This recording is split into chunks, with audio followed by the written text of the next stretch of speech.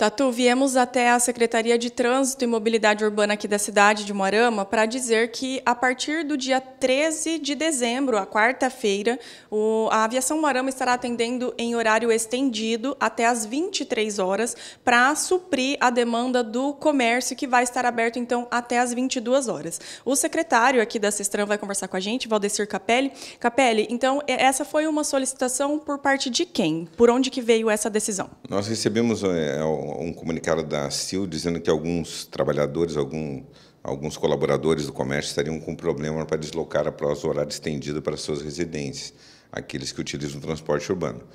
Imediatamente nós entramos em contato com a Aviação Marama, que nos dá o atendimento na área urbana de Marama, para que ele pudesse fazer aí esse atendimento estendido para atender essas pessoas, para que elas não ficassem sem condição de retornar para, suas casas após o trabalho.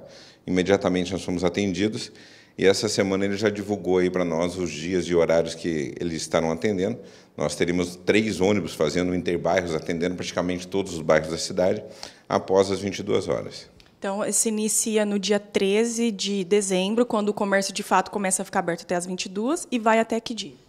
Vai até o dia 23, é de segunda a sexta, né? Sábado o atendimento é o horário normal do, do, do funcionamento do ônibus já, como ele funciona diferente no sábado e nos domingos não está previsto. Nós estamos aí para conversar com a Aviação Marama ainda sobre o dia 24, que nós teremos comércio aberto.